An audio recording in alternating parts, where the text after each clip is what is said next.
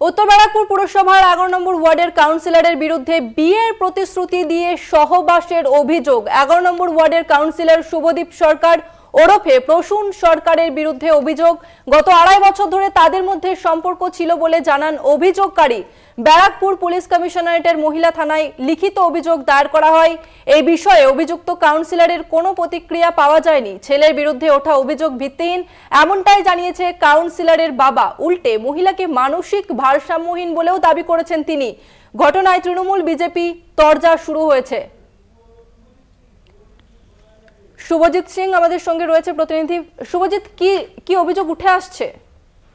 দেখো, গত শুক্রবার এগারো নম্বর ওয়ার্ডের তৃণমূল কাউন্সিলর উত্তর ব্যারাকপুর পৌরসভার শুভদীপ সরকার ওরফে প্রচুর সরকার তার বিরুদ্ধে এক তরুণী অভিযোগ করেন যে বিয়ের প্রতিশ্রুতি দিয়ে একাধিকবার সহবাস করেছেন তৃণমূল কাউন্সিলর প্রসূন সরকার। তারপরেই মহিলার তরফ থেকে ব্যারাকপুর পুলিশ কমিশনারের নগরবাগ অলোক গাজুরিয়ার কাছে প্রথমে একটি লিখিত অভিযোগ জানানো হয়। তারপরেই পুলিশ কমিশনারের তরফ থেকে ব্যারাকপুরে যে মহিলা থানা রয়েছে সেখানে অভিযোগ দায়ের করানো হয়েছে।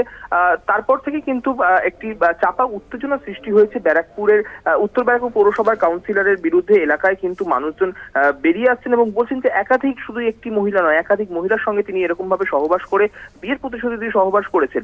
এছাড়াও বিজেপির পক্ষ থেকে জানানো হয়েছে যে তৃণমূল কংগ্রেসের এমনই একটি কালচার যে মহিলাদের সম্মান দিতে জানে না, মহিলাদের সাথে অকথ্য ব্যবহার করেন, অকথ্য ভাষা তারা গালিগালাজ করেন এবং প্রসূন সরকারের বাড়ির লোকের তরফ থেকে তার বাবা জানান যে, মেয়েটি মানসিক ভারসাম্যহীন অবস্থায় রয়েছেন, তার চিকিৎসার দরকার।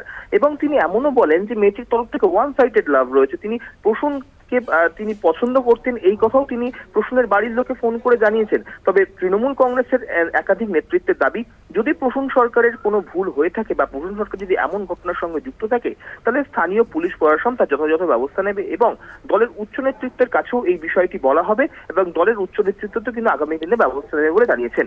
শুভজিৎ কাউন্সিলর প্রসূন সরকারের কি কোনো প্রতিক্রিয়া পাওয়া গেছে? না, দেখো, এই ঘটনার পর থেকে আমরা লাগাতার যোগাযোগ করার চেষ্টা করি কাউন্সিলর প্রসূন সরকারের সাথে, কিন্তু তার ফোন কন্টিনিউস সুইচ অফ বলে জানা যায়। এবং তারপরে আমরা তার বাড়িতে যাওয়ার পরে তার বাড়ির তরফ থেকে এমনই কথা জানানো হয়। বেশ, ধন্যবাদ তোমাকে, শুভজিৎ। আপনাদের আরও একবার জানিয়ে রাখব কাউন্সিলর প্রসূন সরকারের বিরুদ্ধে অভিযোগ উঠছে, উত্তর ব্যারাকপুর পুরসভার এগারো নম্বর ওয়ার্ডের কাউন্সিলরের বিরুদ্ধে বিয়ের প্রতিশ্রুতি দিয়ে সহবাসের অভিযোগ উঠছে এবং এগারো নম্বর ওয়ার্ডের কাউন্সিলর শুভদীপ সরকার ওরফে প্রসূন সরকারের বিরুদ্ধে অভিযোগ। গত আড়াই বছর ধরে তাদের মধ্যে সম্পর্ক ছিল বলে জানান অভিযোগকারী।